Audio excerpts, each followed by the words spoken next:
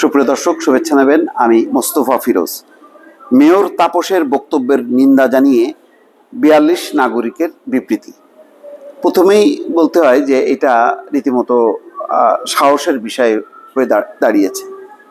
কেননা তারা এমন একজন ব্যক্তির ব্যাপারে বিবৃতি দিয়েছে, তার ক্ষমতা, তার ক্ষমতার বিস্তৃতি, তার গভীরতা, এটা সবাই জানেন। তা সত্ত্বেও এই বিয়াল্লিশ জন যে নাগরিক বিবৃতি দিয়েছে, এটা অবশ্যই সাধুবাদ পাওয়ার মতো। যথেষ্ট সাহস তারা নিয়ে সাহসের সাথেই তারা এই বিবৃতি দিতে সমর্থ হয়েছে। ঘটনাটা আপনারা সবাই জানেন যে একজন চিফ জাস্টিসকেও নামিয়ে দিয়েছিলাম। এই একটা কথা। আর একটা হলো এবার যারা আমাদেরকে পরামর্শ দিতে আসবে, যে বুদ্ধিজীবীরা, তাদেরকে বস্তায় ভরে বুড়িগঙ্গার কালো পানিতে তাদেরকে ডুবিয়ে দিতে হবে। এই বক্তব্যটা খুবই অপমানজনক, অসম্মানজনক। আর প্রথম যে বক্তব্যটা যে একজন চিফ জাস্টিসকেও নামিয়ে দিয়েছিলাম, বাংলাদেশে একজনই চিফ জাস্টিসকে নামিয়ে দেওয়া হয়েছিল, তিনি হচ্ছেন সবাই জানেন এস কে সিনা তো তখন সরকারের পক্ষ থেকে কিন্তু তার বারবার, কখনো বলা হয়নি যে আমরা তাকে নামিয়ে দিয়েছি। তার চিকিৎসার জন্য তিনি বিদেশে গেছেন, বিদেশ- বিদেশে যাওয়ার পর ক্যান্সারে তিনি আক্রান্ত, চিকিৎসার জন্য গেছেন সেখান থেকে তিনি পদত্যাগ করেছেন। তারপর সরকার দেখল যে বাপরে, তার বিরুদ্ধে তো দুর্নীতির অভিযোগ আছে, মামলা করল, কিন্তু তিনি আর আসলেন না।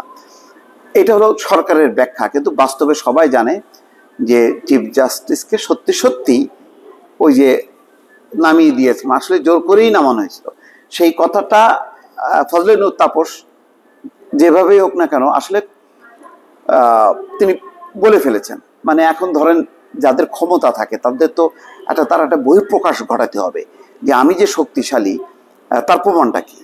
তো আমি যদি সেরকম কিছু না বলি, না করে দেখায় তাহলে কীভাবে ভাববে যে আমি সত্যি সত্যি শক্তিশালী? সুতরাং শক্তিধর মানুষরা তাদের শক্তির বহিঃপ্রকাশ কোনো না কোনোভাবে ঘটান। যারা জ্ঞান বিজ্ঞানে যারা শক্তিশালী, তারা জ্ঞান বিজ্ঞানের মধ্য দিয়ে তাদের ওই সৃষ্টিকর্ম দিয়ে তারা প্রকাশ করেন যে তারা যথেষ্ট বুদ্ধিমান, ক্ষমতাশালী, শক্তিধর মানুষ। আর যারা তার বাইরে, তারা পেশির শক্তি দেখান অথবা অন্যান্য অর্থের জোর দেখান, ক্ষমতার জোর দেখান।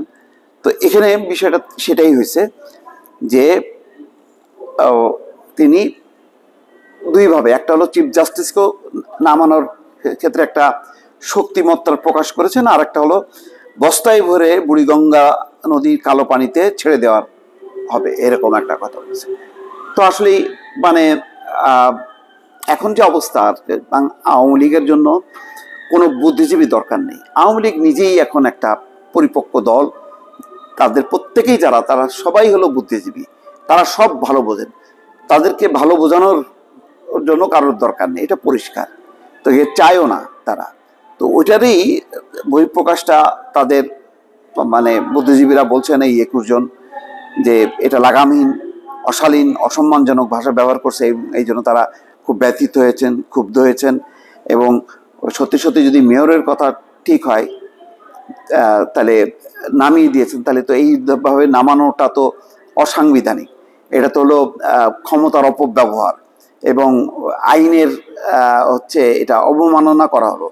তাহলে স্বাভাবিকভাবেই একটা ইয়ে দাঁড়ায় যে তাহলে কীভাবে নামানো হলো?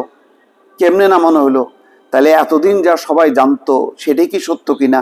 সেটা যদি সত্য হয়, তাহলে এই ধরনের আইন নিজের হাতে তুলে নিয়ে, ক্ষমতাটা নিজের হাতে তুলে নিয়ে কে বেআইনি কাজ করল? তাহলে তো তারও তো একটা প্রতিকার বা প্রতিবিধান হওয়া উচিত। সেই কথাটাই তিনি বলছেন এই বিয়াল্লিশ জন নাগরিক। বলা হয় যে তিনি শুধু বিচার বিভাগ, জ্যেষ্ঠ আইনজীবী ও নাগরিক সমাজের অপমানিত ব্যক্তিদের প্রতি কটাক্ষ করেছেন তাই নয়।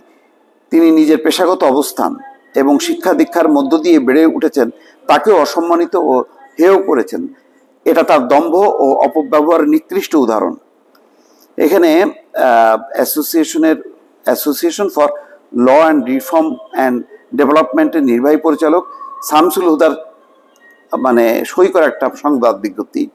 এখানে যারা আছেন, তারা হচ্ছেন সুলতানা কামাল, রাশেদা কে চৌধুরী, খুশি কবির ডক্টর হামিদা হোসেন, রানা দাশগুপ্ত, আনু মোহাম্মদ, তারপরে কাজল দেবনাথ, শিরিন হক, টিআইবির ইফতেকারুজ্জামান, শামসুল হক, স্বাধীন মালিক আরও বাকি সবাই পরিচিত। এটা এটা একটা ভালো যে তারা এই জিনিসটাকে সামনে এনেছেন এবং প্রতিবাদ করেছেন এবং এটার অবশ্যই একটা তদন্ত হওয়া উচিত। যে আসলে সত্যি সত্যি কি নামিয়ে দেওয়া হয়েছিল? কীভাবে নামিয়ে দেওয়া হয়েছিল? কি অন্যায়টা সেদিন করা হয়েছিল এস কে সিনার প্রতি? এটা তো আসলে একটা সুরা সুরাহা উচিত। অথবা এই ঘটনাটা ধামাচাপাই থাকবে ইতিহাসের কেউ জানবে না প্রকৃত ঘটনাটা কি। এটা তো হইতে পারে না। দর্শক, ভালো থাকবেন। আল্লাহ হাফেজ।